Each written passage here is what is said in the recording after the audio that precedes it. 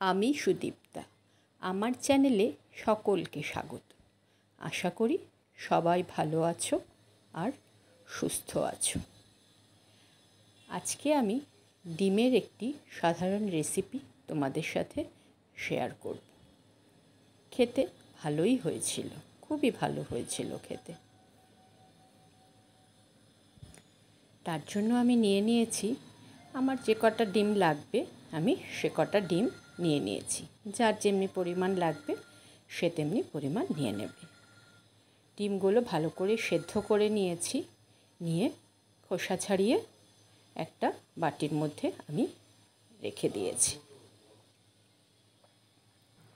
এবারে আমি ডিমগুলো ভাজার জন্য ডিমের মধ্যে আমি দিয়ে দিচ্ছি এক চামচ হলুদ আর এক চামচ নুন। দিয়ে ভালো করে হলুদ আর নুনটা ডিমের সাথে মিশিয়ে নিচ্ছি। এবার গ্যাসে কড়াই বসিয়ে দিয়েছি।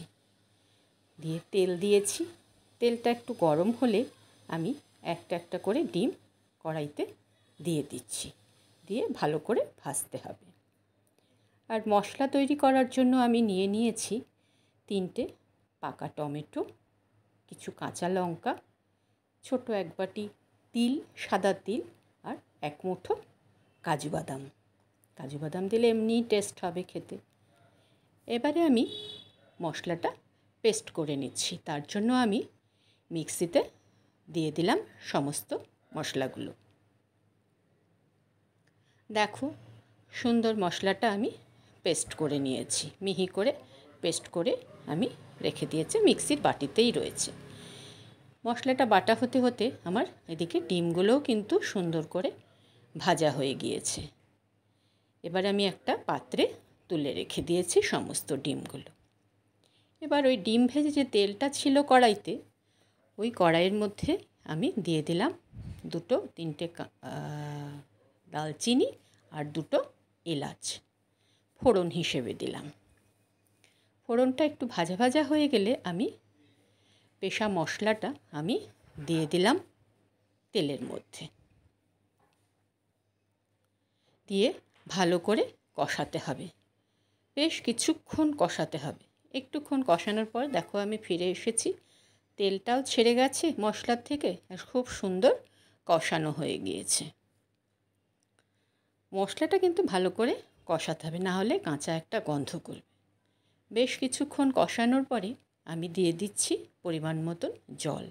আমি মিক্সি ধোয়া বাটিটাই আমি দিয়ে দিলাম। বাটিটা ধুয়ে জলটা আমি দিয়ে দিয়েছি। যার যতটুকু ঝোল লাগবে সে ততটুকু ঝোল দেবে। একটু ফুটাতে হবে।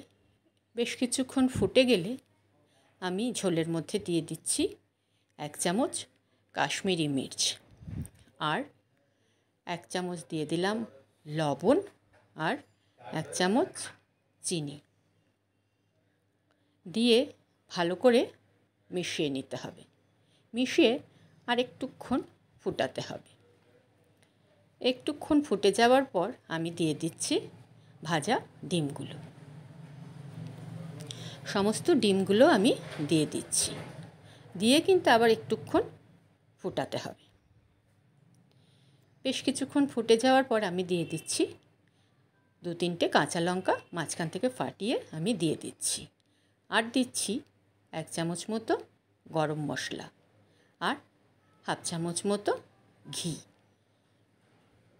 দিয়ে একটু নাড়াচাড়া করতে হবে। ভালো করে মিশিয়ে দিতে হবে গরম মশলা আর ঘিটা ঝোলের সাথে।